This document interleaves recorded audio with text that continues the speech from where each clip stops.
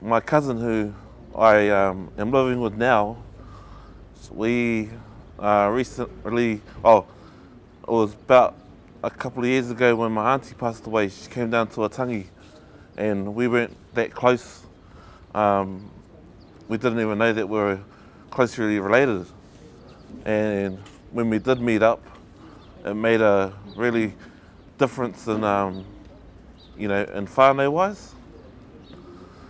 and I um, I got really close, to, uh, closely connected with her, and that changed my life, teaching me like cooking and um, what uh, doing chores around the house, getting uh, uh, going getting qualifications for a job, and um, yeah, basically those types of things.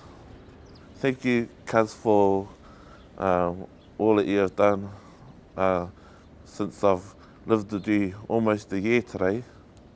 And um, I love you lots. And um, can't wait for the what the future brings.